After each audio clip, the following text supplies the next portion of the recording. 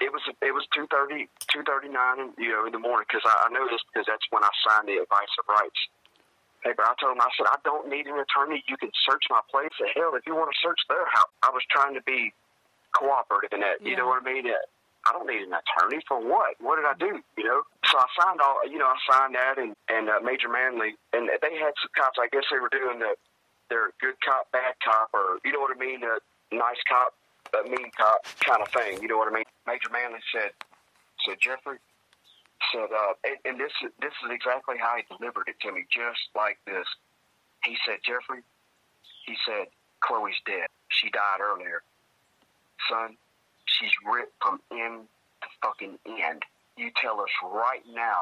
You tell us right now, and that might save you from getting a needle in your arm up there, park up there on the farm. You know, and I'm like thinking, farm needle. What the hell are you talking about? Right. You know what I mean? And he said, uh, son, she's been raped, from end to end, and and I'm just, I'm still trying to wrap my mind around, and I, I, I I'm still trying to process that she's gone. I didn't know that, right? And uh, first thing I'm like, I, I need to let me talk to Beck. I mean, because you know, j- and I'm facing you know this this uh the prosecution of this. You know what I mean? So that all that was ill placed. How long did they Uh, keep you in interrogation? Like, how long did they try to get it out Oh. of you, even though you didn't do it?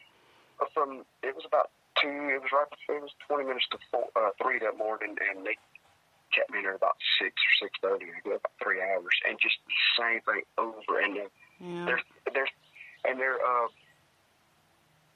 I mean, uh, before I could even respond to or or react to that, she had when he said that uh, Chloe's dead. She just he said just like Chloe's dead, and um said it, and she's been ripped from end to end, and I'm just. Uh, my mind, I've been, I've been spinning around ever since. You know what I mean? It, my world's been crazy from that moment. It's almost 21 years, right? So, uh, yeah, 21 years. 16 almost. years February- on death row. Yeah, and they're they're threatening me. They're they're saying that, uh, yeah, we we got to put you in a secure. Yeah, we're going to put you in a secure part of the jail because everybody in this jail wants to kill you. To you know, right now, blah blah blah. And I'm like, So confused. you know, I, I know I, I can see it for what it is, but they're pushing me and they're po- and they're calling me all the horrible names that go with you know accusation like that. And um, I literally, I, do, I mean, I don't know what you're talking about. They're like, oh, we're gonna, we can't. They're gonna do a DNA test, and you know, CSI was big back. then. It was just big coming out back then, you know, 21 years ago. And um, I remember thinking, you're damn right you're going to do a DNA test. You, what do you need right now? I can do it now.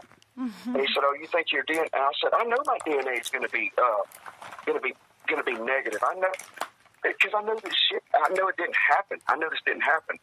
And they and uh, So the you guy believe they were going to prove it, that they didn't happen, right? You believe Right, that? Well, well, yeah. I, said DNA. The DNA is going to show that. He said, well, you know what? He said it don't matter. DNA's uh, comes back negative, inconclusive, or whatever. We're just going to say that you used an object. It was originally scheduled for uh, October, middle October, and then it was moved uh, to the. Uh, then it was moved, set back till the week before Christmas. Who was your Who was your attorney? Was it a, court They, appointed? they originally, uh, yeah, they originally appointed uh, Doc, um, uh, Robert Robert um, uh, uh, Clark okay. from Vidalia. He he practiced. He had Louisiana and Mississippi bar, right? Uh, license for for capital. Yeah, you're supposed to have two attorneys, and they did. The judge did appoint uh, another one, another guy, uh, Gus Sermos, on on the day of my arraignment on June on June the 28th. My little brother's birthday, actually, my baby brother. June 28th.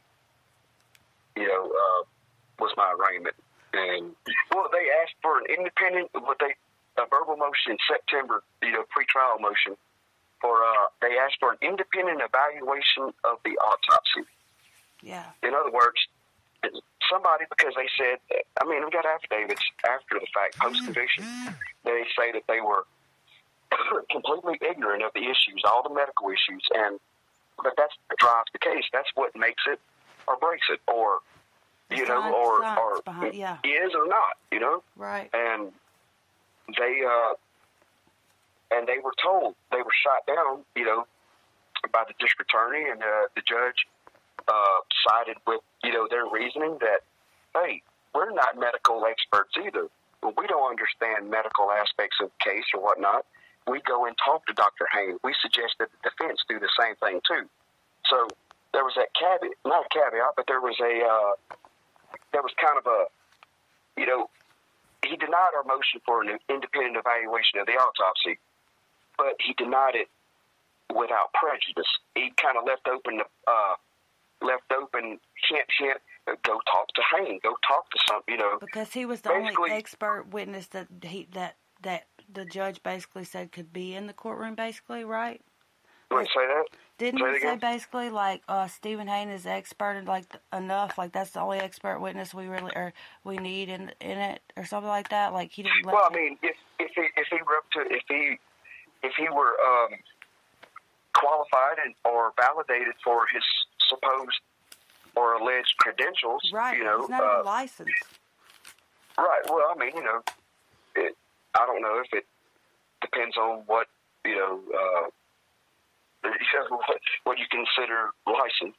But he You has know, came back. He has came back and he has made an affidavit, which is available on the free Jeffrey. Yeah. Okay, so I could read it to you right here, right now. okay, well, uh, you, the, hold on, hold on one second, hold on, Jeffrey, one And second. what it come down to, the nurses and doctors in the emergency room, they they brought out a CXR portable X-ray to confirm the tube placement. You know, the the tube when they were, you know, to put the intubation tube down throat, right?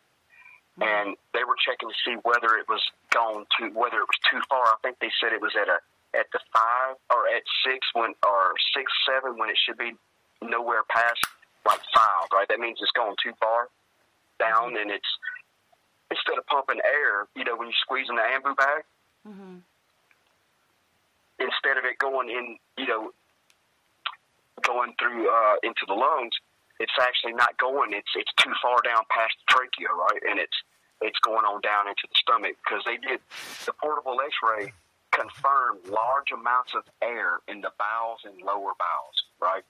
Yeah. and they noted that, that her mus- the muscle condition was completely flaccid. Um, you know, all the everything. But they were filling her up with air. What they were doing, and they, it was continually put through and pushed through her because it was, uh, you know. Now, here's what I don't understand. Jeffrey. Yeah, Okay, um, I need like What? 15 minutes, and I need. I'll Uh-huh. I'll call you back or whatever. I got something I gotta do.